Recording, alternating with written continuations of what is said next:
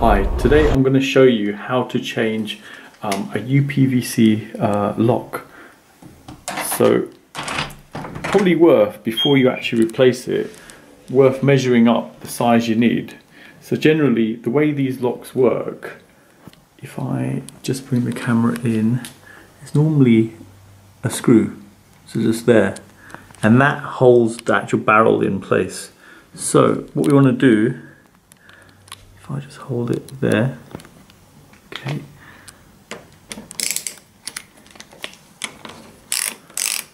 Just take the screw out first.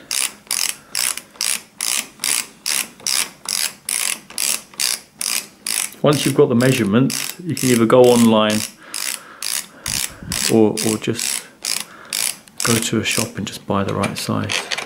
So take the screw out, put that down,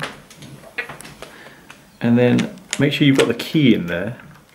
And then it's just a matter of turning it slightly and then it will just start moving out. So there you go. Barrels come out.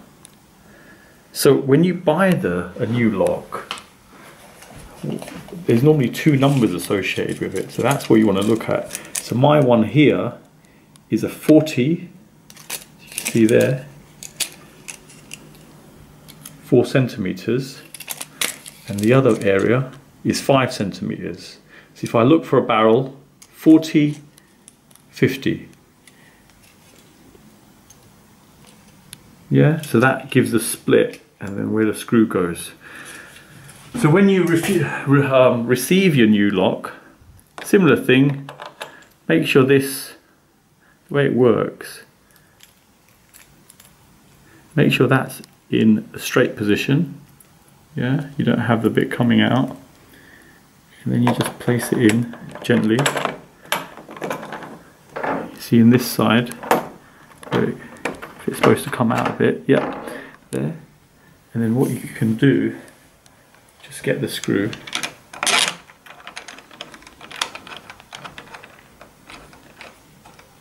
yeah, that's gone in.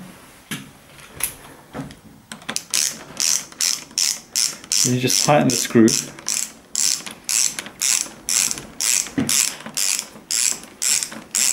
That's securely done now.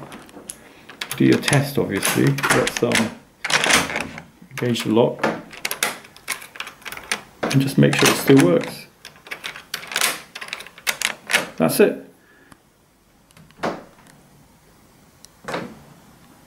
There you go.